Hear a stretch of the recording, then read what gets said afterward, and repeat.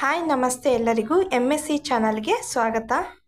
ನನ್ನ ಚಾನಲ್ಗೆ ಯಾರೆಲ್ಲ ಸಬ್ಸ್ಕ್ರೈಬ್ ಮಾಡಿಕೊಂಡು ನೋಡ್ತಾ ಇದ್ದೀರೋ ಅವರಿಗೆಲ್ಲರಿಗೂ ತುಂಬ ಧನ್ಯವಾದಗಳು. ಹೀಗೆ ನನ್ನ ಚಾನಲ್ಗೆ ಸಪೋರ್ಟ್ ಮಾಡಿ ಅಂತ ಹೇಳ್ತಾ ಇವತ್ತಿನ ಲಾಗ್ನ ಸ್ಟಾರ್ಟ್ ಮಾಡ್ತಾ ಇದ್ದೀನಿ. ಇವತ್ತಿನ ದಿನ ತುಂಬ ಸಿಂಪಲ್ಲಾಗಿ ಈಸಿಯಾಗಿ ತುಂಬ ಟೇಸ್ಟಿಯಾಗಿ ಮಾಡುವಂಥ ಒಯ್ಯೋ ಹಪ್ಳ ರೆಸಿಪಿನ ತೋರಿಸ್ತಾ ಇದ್ದೀನಿ. ಬನ್ನಿ ನಮ್ಮನೇಲಿ ಯಾವ ರೀತಿಯಾಗಿ ಒಯ್ಯೋ ಹಪ್ಳ ರೆಸಿಪಿನ ಮಾಡ್ತೀವಿ ಅಂತ ನೋಡೋಣ. ನಾನು ಒಂದು ಪಾತ್ರೆಗೆ ಎರಡು ಪಾವಷ್ಟು ರೇಷನ್ ಅಕ್ಕಿನ ಹಾಕ್ಕೊಂಡಿದ್ದೀನಿ ಈ ಅಕ್ಕಿನ ಚೆನ್ನಾಗಿ ವಾಶ್ ಮಾಡಿಕೊಂಡು ನಾಲ್ಕರಿಂದ ಐದು ಗಂಟೆವರೆಗೂ ಚೆನ್ನಾಗಿ ನೆನೆಸ್ಕೊಂಡಿದ್ದೀನಿ. ಅಕ್ಕಿ ಕಾಳನ್ನು ಇಚ್ಕಿದ್ರಂದರೆ ತಕ್ಷಣ ಕಟ್ಟಾಗಬೇಕು, ಆ ರೀತಿಯಲ್ಲಿ ನೆನೆಸ್ಕೊಂಡಿದ್ದೀನಿ. ಅಕ್ಕಿ ಈ ರೀತಿ ನೆಂದಿದೆ. ಈ ನೆಂದಿರೋ ಅಂಥ ಅಕ್ಕಿನ ಮಿಕ್ಸಿ ಜಾರಿಗೆ ಹಾಕ್ಕೊಂಡ್ಬಿಟ್ಟು ಹಾಗೆ ನುಣ್ಣಗೆ ಗ್ರೈಂಡ್ ಮಾಡ್ಕೊಳ್ತಾ ಇದ್ದೀನಿ. ಸ್ವಲ್ಪ ನೀರು ಸೇರಿಸ್ಬಿಟ್ಟು ನುಣ್ಣಗೆ ಈ ರೀತಿಯಾಗಿ ಗ್ರೈಂಡ್ ಮಾಡ್ಕೊಂಡಿದ್ದೀನಿ. ಗ್ರೈಂಡ್ ಮಾಡ್ಕೊಂಡಿರೋವಂಥ ಹಿಟ್ಟನ್ನು ಒಂದು ಪಾತ್ರೆಗೆ ಹಾಕ್ಕೊಳ್ತಾ ಇದ್ದೀನಿ. ಈಗ ಅದೇ ಮಿಕ್ಸಿ ಜಾರಿಗೆ ಉಳಿದಿರೋ ಅಂಥ ಅಕ್ಕಿನ ಹಾಕಿಬಿಟ್ಟು ಅರ್ಧ ಟೀ ಲೋಟದಷ್ಟು ಧನಿಯಾ ಕಾಳನ್ನು ಹಾಕ್ಕೊಳ್ತಾ ಇದ್ದೀನಿ. ಧನಿಯಾ ಕಾಳನ್ನು ಹುರಿದಿಲ್ಲ ಹಾಗೆ ಹಸಿದನ್ನೇ ಹಾಕ್ಕೊಳ್ತಾ ಇದ್ದೀನಿ. ಈಗ ಇದಕ್ಕೆ ಸ್ವಲ್ಪ ಸ್ವಲ್ಪ ನೀರು ಹಾಕ್ಕೊಂಡು ಇದೇ ರೀತಿಯಲ್ಲಿ ನುಣ್ಣಗೆ ಗ್ರೈಂಡ್ ಮಾಡ್ಕೊಳ್ತಾ ಇದ್ದೀನಿ. ಹಿಟ್ಟು ತುಂಬ ತೆಳುಗಿರಬಾರ್ದು, ಸ್ವಲ್ಪ ಮಂದವಾಗಿದ್ದರೆ ಒಳ್ಳೆ ಟೇಸ್ಟು ಕೊಡುತ್ತೆ, ಹಪ್ಪಳನೂ ಕೂಡ ತುಂಬ ಚೆನ್ನಾಗಿ ಬರುತ್ತೆ. ಇದನ್ನು ತುಂಬ ನೀರು ಹಾಕ್ಕೊಂಡು ರುಬ್ಕೊಬಾರ್ದು ದೋಸೆ ಹಿಟ್ಟಿನ ಅದಕ್ಕೆ ರುಬ್ಕೊಂಡ್ರೆ ಚೆನ್ನಾಗಿರುತ್ತೆ. ನೋಡಿ ಈ ಹದಕ್ಕೆ ರುಬ್ಕೊಂಡಿದ್ದೀನಿ. ರುಬ್ಬಿರೋ ಅಂಥದ್ದನ್ನು ಹಿಟ್ಟಿನ ಪಾತ್ರೆಗೆ ಹಾಕ್ಕೊಳ್ತಾ ಇದ್ದೀನಿ. ರುಬ್ಬಿರೋ ಅಂಥ ಹಿಟ್ಟಾಕಿರೋ ಪಾತ್ರೆಗೆ ಒಂದು ಟೇಬಲ್ ಸ್ಪೂನಷ್ಟು ಜೀರಿಗೆ ಕಾಳು ಒನ್ ಟೇಬಲ್ ಸ್ಪೂನಷ್ಟು ಬಿಳಿ ಎಳ್ಳು ಹಾಕ್ಕೊಳ್ತಾ ಇದ್ದೀನಿ. ಒನ್ ಟೀ ಸ್ಪೂನಷ್ಟು ಅರಶಿನ ಪುಡಿ, ಅರ್ಧ ಟೇಬಲ್ ಸ್ಪೂನು ಅಚ್ಕಾರದ ಪುಡಿ, ಹಾಗೆ ರುಚಿಗೆ ತಕ್ಕಷ್ಟು ಉಪ್ಪು ಹಾಕ್ಕೊಳ್ತಾ ಇದ್ದೀನಿ. ಇದಿಷ್ಟು ಹಾಕಿದ ಮೇಲೆ ಚೆನ್ನಾಗಿ ಮಿಕ್ಸ್ ಮಾಡ್ಕೊಳ್ತಾ ಇದ್ದೀನಿ. ಈಗ ಇದಕ್ಕೆ ಹಾಕಿರೋಂಥ ಇಂಗ್ರೀಡಿಯೆಂಟ್ಸ್ ಎಲ್ಲ ಹಿಟ್ಟಿನ ಜೊತೆಗೆ ಚೆನ್ನಾಗಿ ಮಿಕ್ಸ್ ಆಗಬೇಕು. ಆ ರೀತಿಯಲ್ಲಿ ಮಿಕ್ಸ್ ಮಾಡ್ಕೊಳ್ತಾ ಇದ್ದೀನಿ. ಈಗ ಹಿಟ್ಟನ್ನು ಚೆನ್ನಾಗಿ ಮಿಕ್ಸ್ ಮಾಡ್ಕೊಂಡಾದ್ಮೇಲೆ ತಟ್ಟೆ ಮುಚ್ಚಿಬಿಟ್ಟು ಓವರ್ ನೈಟು ಫುಲ್ಲು ಹಿಟ್ಟನ್ನು ನೆನೆ ಇಡ್ತಾ ಇದ್ದೀನಿ. ರಾತ್ರಿ ಎಲ್ಲ ನೆನೆ ಇಟ್ಟಿರೋಂಥ ಹಿಟ್ಟನ್ನು ಬೆಳಗಿನ ಜಾವ ಓಪನ್ ಮಾಡಿದಾಗ ಈ ರೀತಿಯಾಗಿ ಹಿಟ್ಟು ಗಟ್ಟಿಯಾಗಿ ನೆಂದಿದೆ. ನೋಡಿ ಈ ರೀತಿಯಾಗಿ ಪೇಸ್ಟ್ ರೀತಿಯಲ್ಲಿ ಹಿಟ್ಟು ರೆಡಿಯಾಗಿದೆ ಇಷ್ಟು ಗಟ್ಟಿಯಾಗಿರುವಂಥ ಹಿಟ್ಟಿಗೆ ಹಾಗೆ ನೀರು ಹಾಕ್ಕೊಳ್ದೇ ಮಿಕ್ಸ್ ಮಾಡ್ಕೊಳ್ತಾನೆ ಇರಬೇಕು. ಮಿಕ್ಸ್ ಮಾಡ್ಕೊಳ್ತಾ ಮಿಕ್ಸ್ ಮಾಡ್ಕೊಳ್ತಾ ಹಿಟ್ಟು ಒಂದು ಕರೆಕ್ಟ ಅದಕ್ಕೆ ರೆಡಿಯಾಗುತ್ತೆ ನೋಡಿ, ಈ ರೀತಿಯಾಗಿ ದೋಸೆ ಹಿಟ್ಟಿನ ಅದಕ್ಕೆ ಕರೆಕ್ಟಾಗಿ ರೆಡಿಯಾಗಿದೆ ಹಿಟ್ಟು. ಈಗ ಒಯ್ಯೋ ಹಪ್ಪಳ ಮಾಡೋದಕ್ಕೆ ಹಿಟ್ಟು ರೆಡಿಯಾಗಿದೆ ಒಯ್ಯೋ ಹಪ್ಪಳ ಮಾಡೋದಕ್ಕೆ ಸಮವಾಗಿರುವಂಥ ಪ್ಲೇಟನ್ನು ತೊಗೋಬೋದು. ಇಲ್ಲಾಂದರೆ ತಟ್ಟೆ ಇಡ್ಲಿ ಮಾಡ್ತೀವಲ್ಲ, ಆ ಪ್ಲೇಟಾದರೂ ತೊಗೋಬೋದು. ಈಗ ತಟ್ಟೆ ಇಡ್ಲಿ ಮಾಡೋವಂಥ ಪ್ಲೇಟನ್ನ ನಾನು ತೊಗೊಂಡಿದ್ದೀನಿ.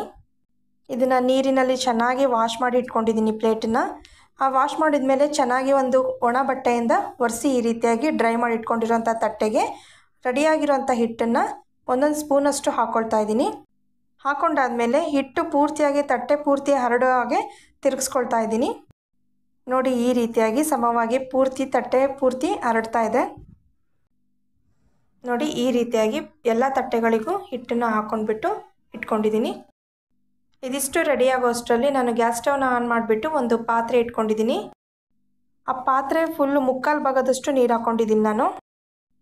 ಈಗ ಇದು ನೀರು ಚೆನ್ನಾಗಿ ಕುದಿ ಬರಬೇಕು, ಅಲ್ಲಿವರೆಗೂ ಕುದಿಸ್ಕೊಳ್ತಾ ಇದ್ದೀನಿ. ಪಾತ್ರೆಯಲ್ಲಿರೋಂಥ ನೀರು ಚೆನ್ನಾಗಿ ಕುದೀತಾ ಇದೆ. ಈ ರೀತಿ ಕುದಿ ಬರಬೇಕಾದ್ರೆ ಹಿಟ್ಟಾಕೊಂಡಿರೋಂಥ ತಟ್ಟೆನ ಒಂದೊಂದೇ ಇಟ್ಕೊಳ್ತಾ ಇದ್ದೀನಿ. ಒಂದು ಸೈಡು ಹಿಟ್ಟಾಕಿರೋಂಥ ತಟ್ಟೆನ ಇಟ್ಕೊಂಡಾದ್ಮೇಲೆ ಅದು ಪೂರ್ತಿ ಡ್ರೈ ಆಗೋವರೆಗೂ ತಟ್ಟೆನ ತೆಗಿಬಾರ್ದು. ಈ ರೀತಿ ಪೂರ್ತಿ ಡ್ರೈ ಆದಮೇಲೆ ತಟ್ಟೆ ತೆಗೆದ್ಬಿಟ್ಟು ಮತ್ತೊಂದು ಸೈಡು ಮಗ್ಚು ಹಾಕ್ಕೊಳ್ತಾ ಇದ್ದೀನಿ. ನೋಡಿ, ತೋರಿಸ್ತಾ ಇದ್ದೀನಲ್ಲ ಈ ರೀತಿಯಾಗಿ. ಈಗ ಹಿಟ್ಟು ಎರಡು ಸೈಡು ಚೆನ್ನಾಗಿ ಬೆಂದಿದೆ.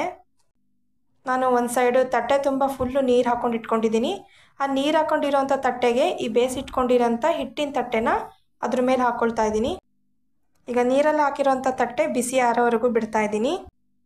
ಇದು ಪೂರ್ತಿಯಾಗಿ ತಣ್ಣಗಾದ್ಮೇಲೆ ಚೂಪುಗಿರೋಂಥ ಚಾಕು ಇರ್ಬೋದು, ಇಲ್ಲಾಂದರೆ ಕಡ್ಡಿ ಸಹಾಯದಿಂದ ಸುತ್ತಲೂ ಎಬ್ಕೊಂಡ್ಬಿಟ್ಟು ಈ ರೀತಿ ತೆಗ್ದಿಟ್ಕೊಳ್ತಾ ಇದ್ದೀನಿ. ನೋಡಿ, ಈಸಿಯಾಗಿ ಹಪ್ಪಳ ಈ ರೀತಿ ಬರ್ತಾ ಇದೆ.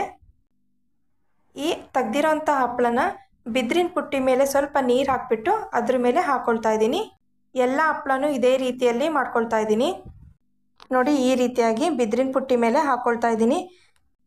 ಬಿದಿರಿನ ಪುಟ್ಟಿ ಮೇಲೆ ಹಾಕೋದ್ರಿಂದ ಸ್ವಲ್ಪ ಗಾಳಿಗೆ ಹಪ್ಪಳ ಬೇಗ ಡ್ರೈ ಆಗುತ್ತೆ.